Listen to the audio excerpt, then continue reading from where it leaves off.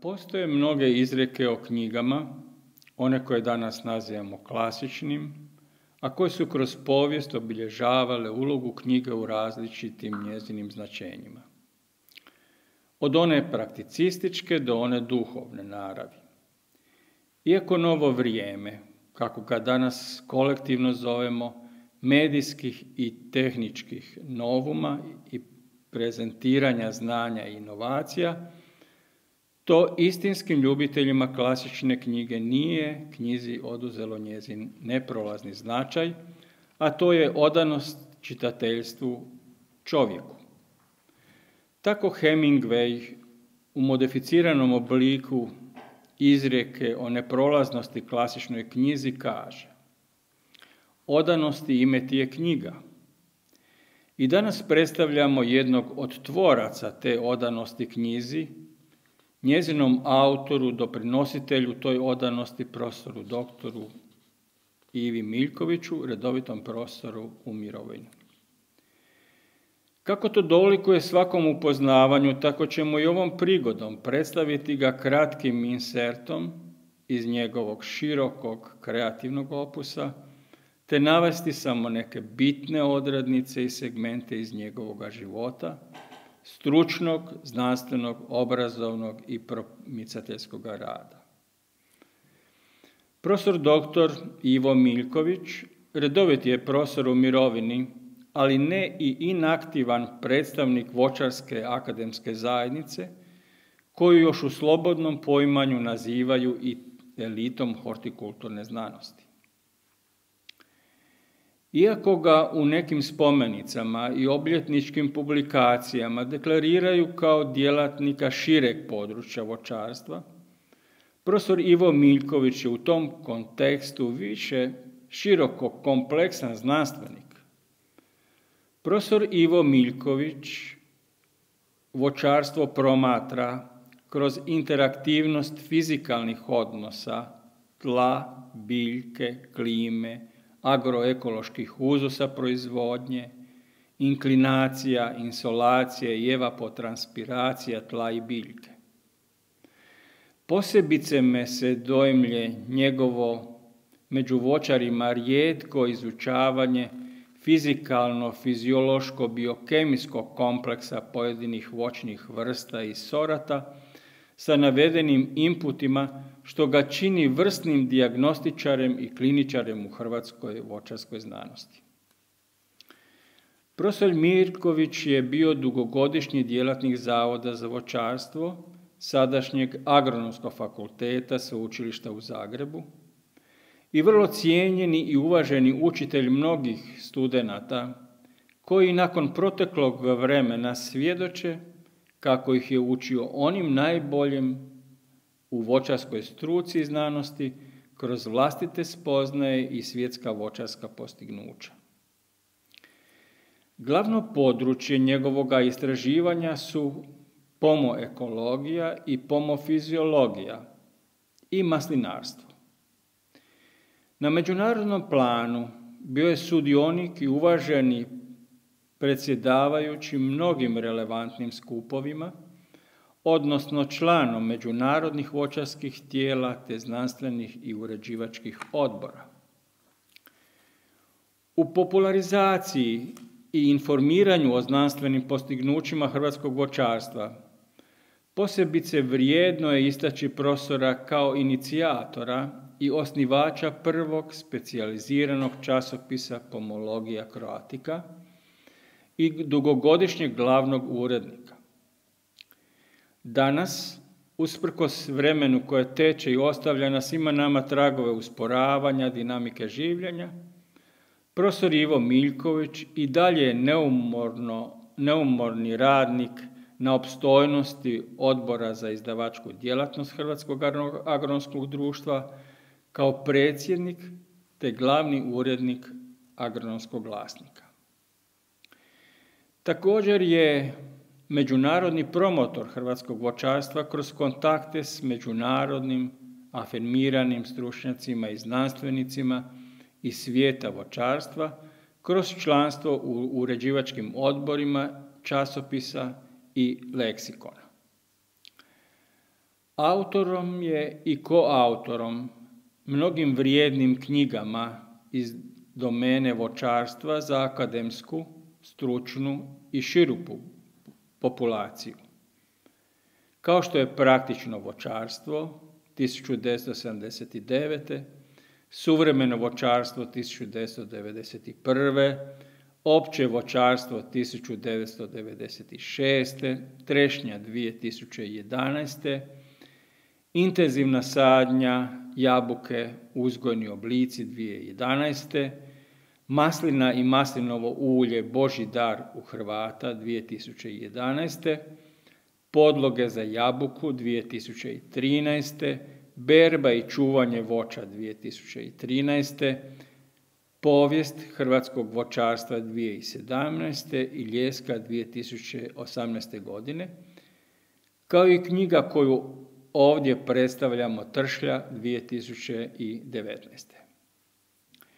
Setom ovih knjiga profesor Mirković ostavlja hrvatskom vočarstvu i njezinim nasljednicima neprolaznu baštinu, svoje knjige, na kojima će uvažavajuća hrvatska vočarska struka i akademska mladež moći tvrditi da hrvatsko vočarstvo nije završilo s njime, ali da nije počelo sa njihovim profesionalnim inicijacijama. Također valja istaći da je profesor Ivo Miljković bio dugogodišnji pročelnik odjela za poljodjelstvo Matice Hrvatske i danas je njegov vrlo aktivni član. Osobno mi je zadovoljstvo da mogu predstaviti knjigu Tršlja autora profesora dr. Ive Miljkovića. Prije svega posebna zahvala i čestitke profesoru Ivi Miljkoviću koji je smogao snage i marljivosti da napiše još jednu knjigu iz područja voćarstva koja će zasigurno dodatno obogatiti znanstvenu i stručnu literaturu hrvatskog voćarstva. Ovom prilikom ističem dosljednost autora da se u pisanju ove knjige, kao i svim ranijim njegovim dijelima, dosljedno držao hrvatskog stručnog nazivlja. Hvala mu na tome. Knjiga Tršlja cjelovito je dijelo opisa vočke, kraljice voća kako su je neki nazvali. Profesor dr. Frane Strikić u svojoj recenziji knjige Tršlja navodi sljedeće, citiram, Monografija Tršlja vrijedan je prilog hrvatskoj voćarskoj literaturi. Knjiga sadrži 240 stranica, opsežnu i složenu građu autor je sustavno, pregledno izložio na vrlo pristupačan način lijepim hrvatskim jezikom. Knjiga je pisana na izvorima bogato korištene pretežno strane, ali i domaće znanstvene i stručne literature. U knjigu je autor unio velik broj rezultata znanstvenih istraživanja iz strane prakse uz kritički osvrt na njihovo značenje za naše prilike. Da bi građa bila što pristupačnija čitatelju, u knjigu je autor unio namjenski odabranih 46 slika u boji, 42 crteža i 21 tablicu. Knjiga je podijeljena u poglavlja povijest i podrijetlo kulture, kemijski sastav i hraniva vrijednost tršlje, proizvodnja tršlje u svijetu, taksonomija roda pistacija, ustroj tršlje, odnosno morfološku i anatomsku građu generativnih i vegetativnih organa, rast i rodnost, odnosno funkcije pojedinih organa, raznožavanje, podloge za tršnju, ženske i muške sorte tršlje, fiziologiju i fenologiju cvatnje, impolinaciju i oplodnju, alternativna rodnost, opadanje cvjetova i plodova, zatim otvaranje i neotvaranje ljuske plodova, rezidba tršlje, uzgojni oblici, ekološki uvjeti za uzgoj tršlje,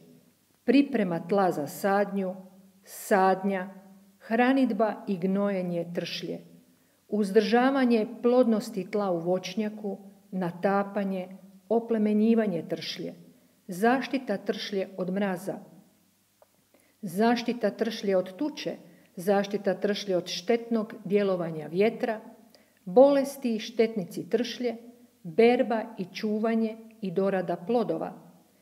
U svakom su poglavlju vrlo obuhvatno iznesene aktualne informacije važne za uvođenje novih tehnologija u proizvodnji tršlje. U poglavlju Ustroj tršlje autor je detaljnije obradio korijenov sustav od njegove strukture, anatomske građe, apsorpcije i transporta vode i hraniva i metabolijsku aktivnosti korijena. Posebnu pažnju autor je obratio pitanju diferencijacije i građe muških i ženskih inflorescenciji, fenologiji cvatnje, oprašivanja i izboru oprašivača u odnosu na interfertilne i intersterilne kombinacije. U poglavlju Ekološki uvjeti za uzgoj tršlje dana je proširena ocjena odnosa tršlje prema niskim temperaturama u pojedinim fenofazama vegetativnih i generativnih organa i potrebne sume inaktivnih temperatura posebno za muške inflorescence, ženske inflorescence i vegetativne pupove. Zatim je dobro obrađen odnos tršlje prema solarnoj i terestičkoj radijaciji, odnosno o korištenju direktne i difuzne svjetlosti u odnosu na indeks lisne površine, što nalazi izravnu primjenu pri izboru uzgojnog oblika i gustoće sklopa. Na osnovi analize ekoloških uvjeta za uzgoj tršlje u Hrvatskoj, autor ističe koje sorte u odnosu na klimatske i jedavske prilike, a posebno u odnosu na specifične zahtjeve prema sumi inaktivnih e, temperatura, treba uzgajati u pojedinim područjima.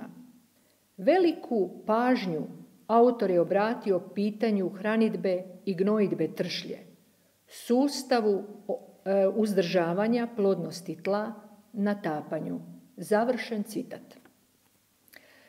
Ova knjiga će poslužiti studentima voćarstva, voćarima i poduzetnicima koji će se upustiti uzgoj tršlje. Knjiga sadrži sve što je potrebno znati o uzgoju ove voćke. Knjiga Tršlja autora profesora doktora Ive Miljkovića jedinstvena je knjiga u području hrvatskog voćarstva, ali i voćarstva u europskim razmjerima. Drago mi je da je knjiga pobudila interes u nekim europskim zemljama, što dodatno ukazuje na vrijednost ovog dijela. Zahvaljujem profesoru Miljkoviću te svima koji su poduprli autora i tiskanje ovog dijela na radost svih nas agronoma i voćara. Na savjetovanju hrvatskih voćara koje je održano u Darovaru sa tematikom uzgoj i proizvodnja lupinastog voća, govorilo se o problematici uzgoja i proizvodnje oraha, problematici uzgoja i proizvodnje lješnjaka, uzgoja ljeske i tom zgodom je predstavljena i moja knjiga Ljeska, zatim o uzgoju i proizvodnji bajama. O tršlji ni riječi, doduše u pregledu proizvodnje lupinastog voća u svijetu, spominjano je i kolika je proizvodnja tršlje, ali uvijek je korišten termin pistacije, a pistacija je latinski naziv za tršlju. Naime, kod nas se dosta često izbjegava hrvatske nazive, pa se neke voćne vrste ili plodovi njihovi nazivaju imenom stranim. Tako, na primjer, ćete naći da se umjesto šipak govori o naru, umjesto agrumi govori o citrusima, umjesto o Marelici govori o Kajsiji, umjesto o Bajamu govori o Bademu i tako dalje. Tršlja ili pistacija je jedna od najstarijih voćnih vrsta čije plodove čovjek koristio za hranu. U Bibliji se spominje u vrijeme sedam sušnih godina, kada je bila velika glad u Izraelu, kada Jakov šalje svoje sinove u Egipat da kupe žita i veli im, ponesite u svojim vrećama malo balzama, meda, smirne, bajama i pistacije, odnosno tršlje, na dar tom čovjeku. Zatim se spominje u povodu smrti sina kralja Davida Apšaloma, te u, u kod kraljice od Sabe, koja je posebice cijenila plodove tršlje i sve svoje goste častila s tim. Babilonski kraj Merodah Baladan je u svom vrtu već uzgajao tršlje. Tršlja je bila visoko cijenjeno voće u davno vrijeme. Kulturu tršlje uvede, kultura tršlje uvedena je u Grčku doba Aleksandra Makedonskoga, dakle 330 godina prije Krista. Rimljani su kulturu tršlje uvezli u Italiju i u Španjolsku. U Španjolskoj se posebno povećala proizvodnja i uzgoj tršlje u doba arapske dominacije. Kultura tršlje najveća je, najveća je proizvodnja tršlje u Iranu, Kini, zatim u Turskoj, Siriji, Afganistanu i Kaliforniji. Na sredozemlju sve zemlje proizvode tršlju. Turska, Grčka, Maroko, Španjolska, Italija, Francuska, a u novije vrijeme i Bugarska podiže voćake. Jedino u Hrvatskoj ta kultura nije proširena i o njoj se malo zna, naši poljoprivrednici o njoj malo znaju. U voćarskoj stručnoj literaturi nema ni riječi o trši, osim da se spominje kao vrsta koja spada u skupinu lupinastog voća. Na prijedlog mojih tadašnjih e, studenata, danas inženjera, da napišem knjigu, odlučio sam se napisati knjigu. Znanje i iskustvo o kulturi tršlje stekao sam i za vrijeme svojih studijskih putovanja u Tursku, u Grčku, u Maroko, Kaliforniju, Španjolsku i Italiju i u Francusku. E, odlučio sam da napišem knjigu na jedan pristupačan i pregledan način, da upoznam naše poljoprivrednike sa mogućnošću njena uzgoja i gospodarskom vrijednost, i, da upoznaju gospodarsku vrijednost te voćne vrste. Tršlja ima niz specifičnosti u odnosu na ostale voćne vrste. Ona je vrlo otporna na sušu. Ona dobro uspjeva na plitkim, skeletoidnim, dobro dreniranim tlima. Ona izbjegava proljetne mrazeve radi toga jer kasnije cvate, cvjeta u cvate tek početkom svibnja. Velike su površine u Hrvatskoj, u obalnom području, Dalmatinskoj Zagori, pa i u Hercegovini, a i na našim otocima, koje se mogu iskoristiti za uzgoj tršnje. Racionalno korištenje tih bioekoloških potencijala proizvodnih prostora sa kulturom tršnje puno bi pridonijelo općem unapređenju i gospodarskom progresu na, u tim područjima. Kulturu tršnje kao takovu htio sam predstaviti na jedan pristupačan način. Obradio sam u knjizi osnovne biološke karakteristike, odnos tršje prema ekološkim uvjetima, izbor podloga, izbor sustava uzgoja, to jest uzgojnih oblika, zatim pomotehniku, rejs, oblikovanje uzgojnog oblika, gnojenje, uzdržavanje plodnosti tla, način i vrijeme berbe, izbor sorti, izbor prikladnih oprašivača. Naime, treba istaći da ljeska ima posebno stabla sa ženskim cvatovima, a posebno sa muškim. I da treba uvijek u voćnjak uvrstiti i muške oprašivače koji dolaze sa 8 do 10% u voćnjaku. Jel? Zatim treba istaći još čitav niz karakteristika za tršju. Treba to strogo odabrati sortu u ovisnosti o klimatskim prilikama. Naime, sorte tršje imaju specifične zahtjeve prema sumi inaktivnih temperatura. To su temperature ispod 7 stupnjeva Celzijusa. Ako idete jako na jug, onda neke sorte tamo ne mogu skupiti tu sumu inaktivnih temperatura. Ako idete jako na sjever, neke sorte ne uspiju dozreti u izrazito sjevernim područjima.